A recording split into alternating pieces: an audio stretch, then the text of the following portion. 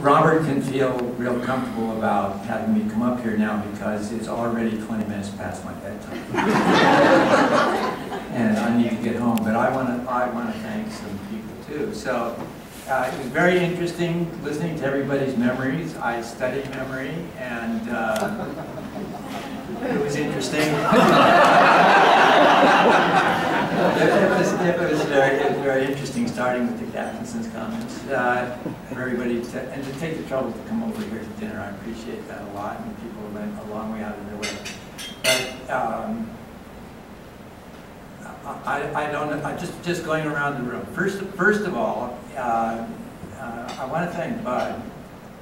Um, it was on for about uh, nine years.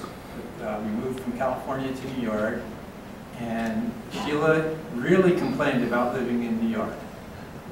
And uh, on Sheila's birthday in 1978, on January 5th, Bud called up and said, there's a job here at UCSD, how would you like to move back to California? Good time, very, very good time. Uh, so I want, I want to thank Bud. Uh, I want to thank Bud and Margaret and Jim and all the people who were associated with the lab. Luis was being way too modest in what he was saying because people from the lab, when we began, um, there was, I'm going to get around to thanking Chandra, uh, and I'll just do that. But overall, a lot of the people who taught, when we came in, we had to revise the curriculum in communication within 10 weeks or they were closing the place down. And you heard about Atkinson saying what a great place Rockefeller was. Well, I had actually quit my job and said, I have to do that because if I don't commit to doing this, and people see that I have one leg getting ready to get out of here, then they won't believe me. So I quit, and I came here, and after I got here, I got this letter saying, you got 10 weeks to go. And what we did was, we started meeting in room 201, uh, and I met with the students. The students were deeply suspicious of me. Uh, every, every discussion we had, they tape recorded and they sent them to Herb after he was teaching at Hunter College. Literally, I was, hey, my memory is no worse than the other people's memory. right? So in 10 weeks, we put that, we put all of that together, uh, and a number of the people who were in the laboratory taught, the, do you know that how we had the three introductory courses? They were taught, a lot of them were taught by people who were in the laboratory. And uh, the, the, the, soft money that Luis was, was mentioning wasn't just, it was partly for lecturing, it was partly making the money spread far enough so that you could do what it was that we wanted to do. And then, so I, I, but I'd like to, so the laboratory, you've heard a lot of, you've heard a lot about, many of, I think, of the graduate students and people in communication basically have no idea what the laboratory is about. Uh, and you should maybe to walk over there one day while it's still there.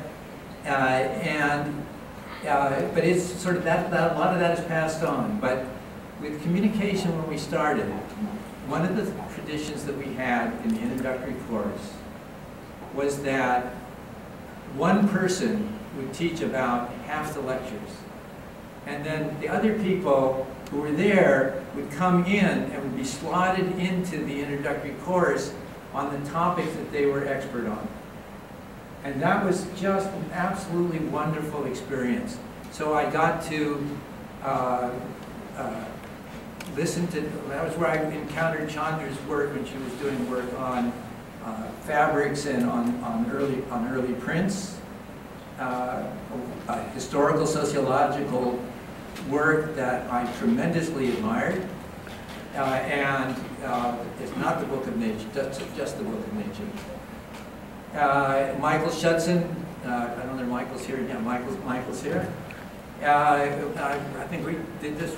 We did it a lot. Of, we did it a lot of times. Dan Hallin come in and talk, and I learned when one of my great uh, thrills in teaching that kind of course was when Carol would come and teach.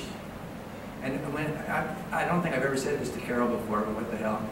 uh, is that the most fascinating thing for me was not to wa watch Carol while she was speaking, but to watch the person who was translating. And I learned more about language from Carol teaching the COM 100 courses on language that I learned from any other source ever. Uh, So the people who came around and and people chipped in. And I think it was an enormously productive period where a lot of people, uh, Jim Levin was teaching, I'm not going to get all the names, right? But Jim was in there teaching. Jim was the chair of vice in the, in- of the comm department at one point, I think it was vice chair. Vice chair, well, I understand it was vice chair, but we had some, we had, we had some sort of funny, uh, funny T-shirt that we made, we made for Jim. Uh, And I, I think probably, I, I can't thank everybody in the room enough. Um, It's been a tremendously interesting experience for me. Uh, This rumor of my retiring is actually inaccurate. Uh, I'm becoming professor emeritus, which means that I get to have all the perks that I want, and I don't have to do any work. Moreover, I've been here long enough, so I get basically the same pay that I got before. So I'll be able to come to other people's seminars. I'm looking forward to doing that, and looking forward to being involved with you all in the years to come. Uh, And uh, Sheila, of course, once we got here, started to look at the situation here and said, you know, maybe New York wasn't such a bad place.